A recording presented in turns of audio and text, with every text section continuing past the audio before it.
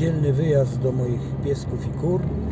Jestem w drodze. Y, Jest 20 listopada, oczywiście rok 2022.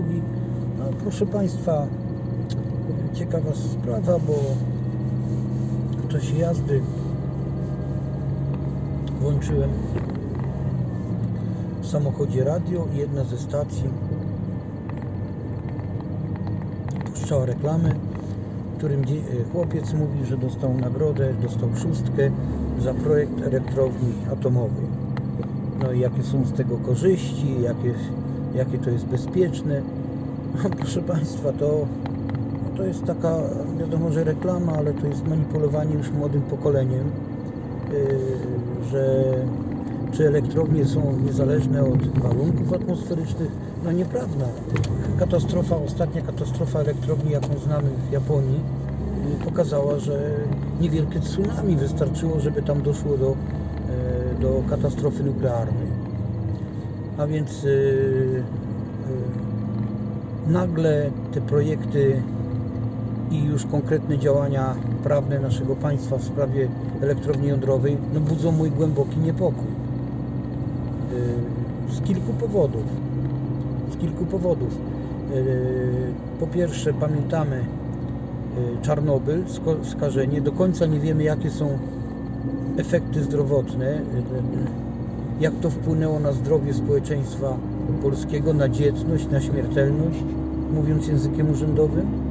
A poza tym zastanawiam się, dlaczego w tej sprawie nie przeprowadzono referendum.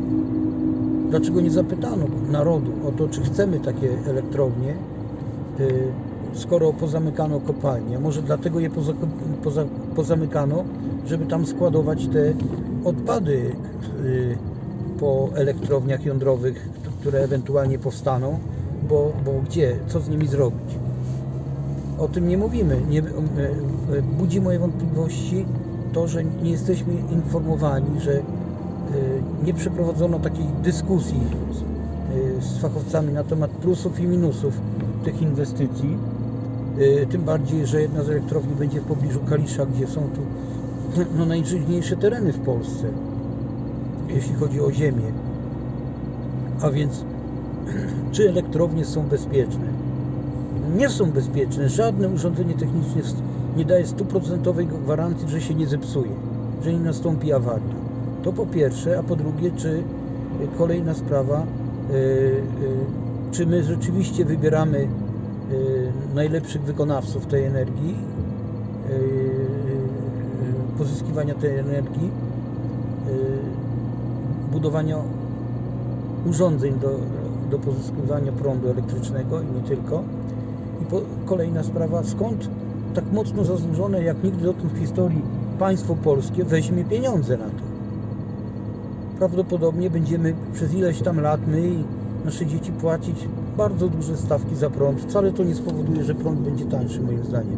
To są moje wątpliwości. Ja nie jestem fachowcem, mogę się mylić, ale myślenie każe nam y, podchodzić do tego naprawdę krytycznie, a nie tak hura, optymizm yy, i i już, już ktoś wymyślił, to my to przyklepujemy, robimy.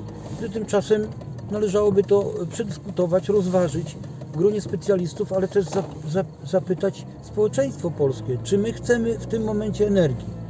No i jednym z takich e, argumentów, który by e, mówił, żeby tej decyzji nie podejmować zbyt szybko, zbyt pochopnie, to jest to, że e, prawdopodobnie już w Chinach, a być może i Niemcy już mają, pojawiła się nowa technologia pozyskiwania energii naprawdę nie powodująca skażeń, o czym się nie mówi. To jest tak zwane sztuczne słońce. Nagram o tym os, osobny film, gdzie o tym powiem. Powiem, e, wskażę na źródła, z których te informacje zaczerpnąłem.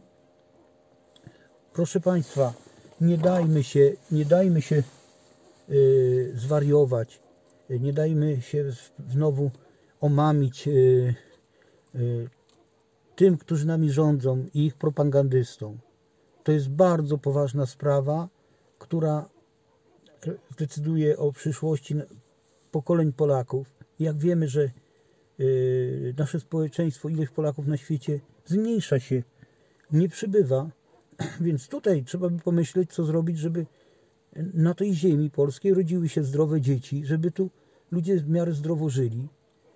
I czy rzeczywiście nie, nie, nie, do, nie doprowadzi się do takiej sytuacji, żeby wykupimy teraz technologie, które za chwilkę będą już przestarzałe, będą do lamusa, których być może już nikt nie będzie chciał kupić.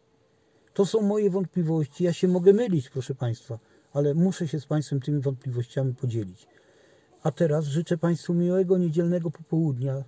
Spędźmy to południe w, w rodzinnej, miłej atmosferze, po Bożemu. I e, niech ten dzień będzie e, świątecznym dniem, który, dzięki któremu nabierzemy sił duchowych. Spadło mi. O, dziękuję. E, Proszę oglądajcie mój kanał Trzeba Przeżyć Kwadrans z Magiem. Mirosław Antoni Glazik Mag komentuje.